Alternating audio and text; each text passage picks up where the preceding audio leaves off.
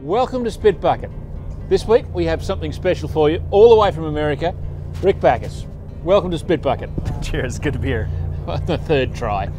um, okay, now, first of all, you started out as a, as a tech geek. Is that the correct?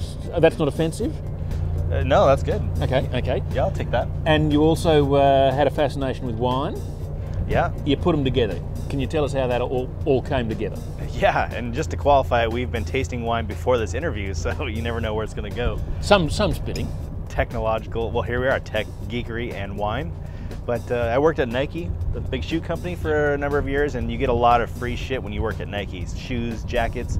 So I was trading it with winemakers in Oregon and California.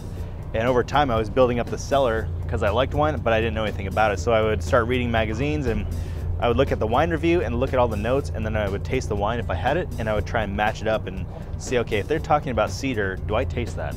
And just over time, I did a lot of that, and just uh, evolved to the point where I am now. Okay, now you're out here to give uh, some, a series of lectures, Yeah. and that's on the more geek side of things. Uh, I mean that in the nicest possible way, of course. Sure. Um, can you give us the background? I mean, what what is your advice for the uh, the young wine obsessed uh, or the young wineries? Well, I mean, let's take a look at. I mean, wine and food is probably the most inherently social interaction that there is, going back to the Roman days.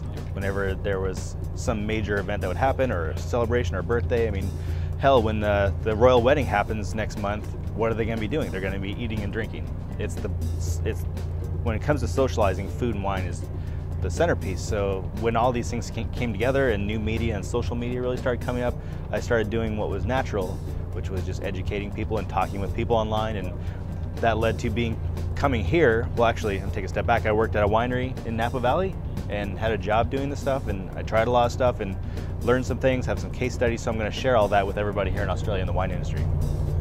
And I mean, this is for you. This is obviously the way forward for, for wineries to promote themselves, um, and for people to also to learn and, um, and pass around information. You were showing me your list of, of Twitters this morning, Yeah. which of course was a foreign language to me, but um, we'll get there. We'll get there eventually.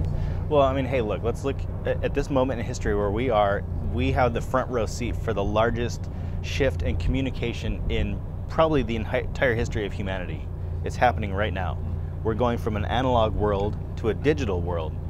And this is the pivot point in history. We're now going forward when you see movies like Star Wars and remember that scene where uh, Anakin Skywalker was a teenager and he was chasing a bad guy through a city and it's all futuristic, looked like Blade Runner? Yep, yep, yep. it could get to look like that. And this is the moment in history where we shift, change courses as humans in civilization and become technological, not just with wine, but you know, in the States, we can take a picture of a check and deposit it. Smart appliances, you know, you will have refrigerators and ovens and washers and dryers that can send you a message and say, hey, would you like me to turn on right now? I mean, the whole world is changing technologically, and this fits into all of this shift. Well, someone did a, a, a look at Star, um, Star Trek at one stage and worked out all of the things that they were fiddling around with way back whenever that are now reality. And it's quite extraordinary the number of things that they've actually they predicted in that sense. So yeah, who knows? I mean, yeah, Anakin Skywalker was zipping past your window. Yep.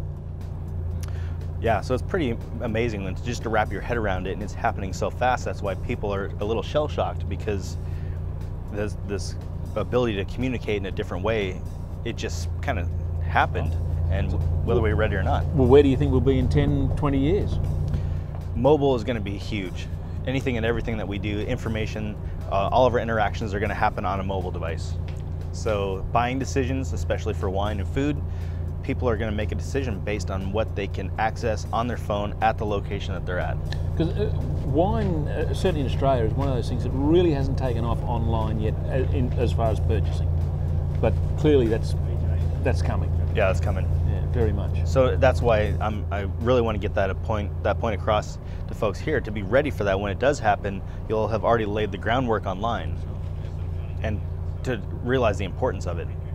So, just to give you an example, if there was a video of the winemaker and he was in the vineyard while this was being harvested, he he could actually take a YouTube video and put it up online.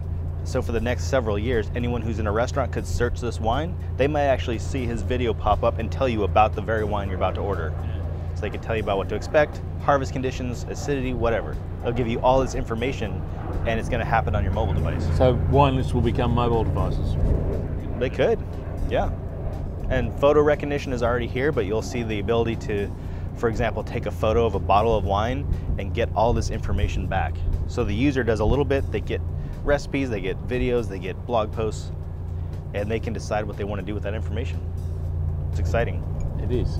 It is. And it's been exciting to have you on board. Thank Yeah. you so much for coming on Spit Bucket. Yeah, cheers, mate. Thank you for having me. Any questions out there about the, the wonderful, bright new future, please pass them on. And remember, we spit so you don't have to. Cheers. Cheers.